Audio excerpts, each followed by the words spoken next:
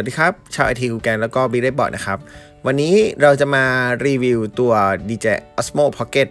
ซึ่งเป็นอุปกรณ์ชิ้นใหม่ แล้วก็หลายคนให้ความสนใจอยู่พอสมควรนะครับ แต่รีวิวนั้นเราจะแบ่งออกเป็น 2 EP ด้วยกัน EP แรกเนี่ย เราจะทำความรู้จักกับตัวมันอย่างเดียวนะครับ ทั้งฟีเจอร์แล้วก็หน้าตา ส่วนวิดีโอตัวอย่างนั้นเดี๋ยวไปรับชมกันหลังคลิปสุดท้ายกันเลยนะครับ ว่ามันจะเป็นอย่างไรสำหรับตัว DJI Pocket นะครับ หรือ ชื่อเต็มๆของมันก็คือ DJI Osmo Pocket เป็นตระกูล Osmo ที่เล็กที่สุดนะครับ แล้วก็มีกล้องติดอยู่ข้างบน ซึ่งเป็นกล้องกิมบอลข้างล่างนะครับ และมีหน้าจอขนาดเล็ก ซึ่งไว้มองภาพนะครับ พร้อมกับปุ่มกดที่สามารถอัดแล้วก็เปลี่ยนโหมดได้อยู่ทั้ง 2 อัน การเปิดปิดเครื่องนั้นก็อย่างที่เห็นไปตั้งแต่ตอนแรกเปิดคลิปมานะครับ ก็จะเป็นลักษณะกล้องจะพลิกไปพลิกมาอยู่นะครับ โดยการทำงานของหน้าจอจะเป็นทัชสกรีนแล้วก็กล้องเนี่ยมันสามารถหมุนได้รอบทิศทางเลยนะครับ ถึง 180 องศา หมุนกลับไปกลับมาและมีการสั่นให้ทั้งหมด 3 แกนด้วยกันนะครับ นั่นก็คือการสั่นไปทางซ้ายขวาและขึ้นลงนะครับ ซึ่งเราสามารถที่จะตั้งโหมดการทำงานของมันได้หลากหลายมากมายเลยทีเดียวนะครับ ส่วนแรกจะบอกว่าการทำงานบนหน้าจอนั้นค่อนข้างจะดีเหมือนกันนะครับ โดยเราจะต้องเข้าไป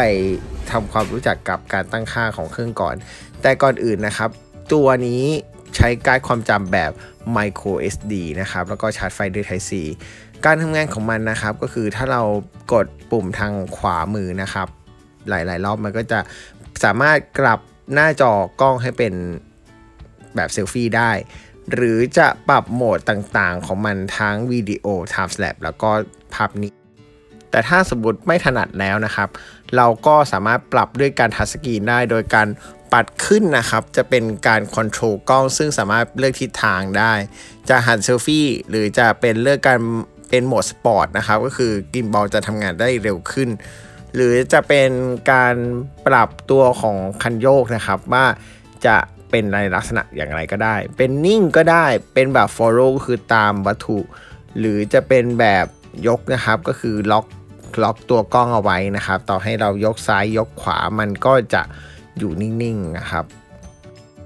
โหมดกล้องเราสามารถปัดจากขวาไปซ้ายนะครับ ซึ่งเราสามารถเลือกได้หลากหลายรูปแบบเช่น slow mo วิดีโอแบบ 4K ภาพนิ่งนะครับ แล้วก็ถ้าปัดไปทางซ้ายก็จะเป็นการดูภาพนะครับ ซึ่งเราสามารถกดถูกใจลบ หรือว่าแสดงผลวิดีโอได้นะครับ หากปัดจากบนลงล่างก็จะเป็นการตั้งค่าของเครื่องนะครับ เราสามารถตั้ง gimbal ตั้งค่าภาษา หรือตั้งดูสถานะ memory แล้วก็ตัวของตัวภาพนะครับ ลักษณะอื่นๆ ได้ค่อนข้างเยอะมาก การปรับตั้งค่ากล้องเนี่ย ถ้าสมมติว่าเราเสียบกับมือถือ ซึ่งจะเป็น connector 2ตัวนี้ จะเป็น Type C หรือ Lightning Port สำหรับ iPhone นะครับ เมื่อเสียบเข้าไปแล้วแอปพลิเคชันก็จะทำงานทำให้เราสามารถตั้งค่าได้ละเอียดมากขึ้นนะครับ โดยที่เมื่อเสียบไปแล้วนะครับ มันก็จะมีการมาถามเพื่อยืนยันกับตัวเครื่องว่า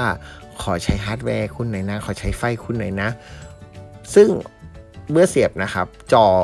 ตัวของ Osmo Pocket จะไม่สามารถทำงานได้อีกต่อไป จะต้องใช้จอมือถือในการควบคุมเท่านั้นโหมดต่างๆของในแอปพลิเคชันบนมือถือนะครับ ซึ่งใช้ชื่อว่า Mimo DJI Mimo นะครับ ก็สามารถปรับได้เยอะมากเลยทีเดียวนะครับ ไม่ว่าจะเป็นการเลือกขนาดของภาพนะครับ 16 ต่อ 9 4 ต่อ 3 3 ต่อ 2 ของตัวภาพเองนะครับ แล้วก็เลือกของการที่จะไวต่อคลื่นแค่ไหน กริปหรือจะเป็นเอฟเฟกต่างๆ อะไรเงี้ยก็ค่อนข้างมีให้ครบ ส่วนถ้าเป็นโหมดของการถ่ายภาพอย่างอื่นนะครับ ก็เดี๋ยวเราดูต่อไปว่ามันมีขนาดไหน แต่ขอบอกว่าเมื่อเลือกเสียบกับมือถือเนี่ยการทำงานของมันจะค่อนข้างเยอะ แล้วก็คุณสามารถปรับได้แม้กระทั่งการถ่ายภาพหล่อไฟล์ก็สามารถทำได้เหมือนกันครับ เรียกได้ว่าโหมดของตัว DJI Pocket นะครับตัวนี้ก็ถือว่าค่อนข้างดีใช้ได้เลยทีเดียว มีให้เล่นเยอะมากนะครับ โดยเฉพาะถ้าเป็นรูปแบบของแอปพลิเคชันด้วยกัน ถือว่าค่อนข้างดี แต่ว่าสิ่งที่หลายคนกังวลอยู่ก็คือว่าด้วยน้ำหนักเบาตัวเล็กขนาดนี้ และการใช้งานที่ผมมองว่าก็ไม่ได้ยากอะไรมากมายนะ เลนจะกว้างขนาดไหนนะครับ ก็อย่างที่เห็นในวิดีโออยู่ตอนนี้นะครับ ว่าต่อให้การตั้งค่า คุณจะเป็นอย่างไร ก็ทำให้มองเห็นว่าภาพยังคงไม่ได้แตกต่างจากมือถือมากมายนักนะครับ แต่คุณจะได้เรื่องคุณสมบัติของกิมบอลซึ่งสามารถจะอยู่นิ่งได้นะครับ แล้วก็ดูจากภาพแล้วนะครับ ตอนนี้คือเป็นการปรับไปที่โหมดโปรที่ค่อนข้างจะละเอียดสำหรับ การถ่ายภาพนิ่งที่เรียกได้ว่าค่อนข้างเยอะจนเรียกได้ว่า โอ้กล้องมือถือบางตัวอย่างอายได้เลยครับสำหรับวิดีโอนะครับ ก็มีการปรับให้เลือกนะครับ เราสามารถถ่ายได้สุดที่ 4K 60 frame rate กันเลยทีเดียวนะครับ เรียกได้ว่าค่อนข้างละเอียดยิบแล้วก็ เยอะมากนะครับ โดย memory นั้นสามารถใส่ได้สูงสุดที่ 256กิกนะครับ เป็นแบบ micro SD card แต่อย่างไรก็ตามนะครับ ภาพนิ่งถ่ายได้ 12ล้านพิกเซลผมก็ถือว่าโอเคมากนะครับ นอกจากนี้แบตเตอรี่ของมันใหญ่ได้แค่ 140 นาที ถือว่าไม่ได้ไม่ได้มากมายอะไร แต่ก็ไม่ได้น้อยเกินไปนะครับ การทำงานของกล้องเนี่ยผมมองว่าค่อนข้างสมูทแล้วก็ลงตัว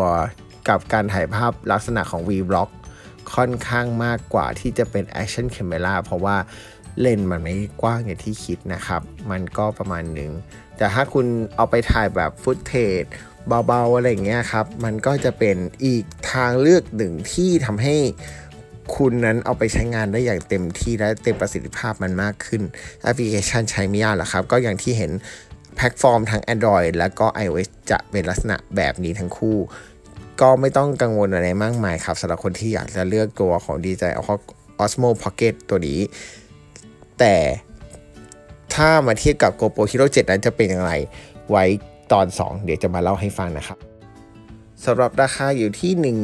13,500 บาท ซึ่งตอนนี้สามารถหาซื้อได้แต่ว่าเห็นว่าขาตลาดอยู่ ใครอยากได้ก็ต้องอดใจรอสักหน่อยนะครับ แต่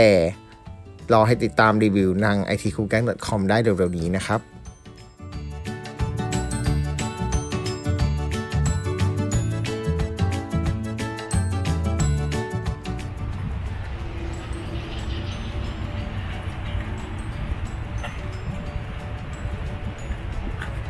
รถมารถมา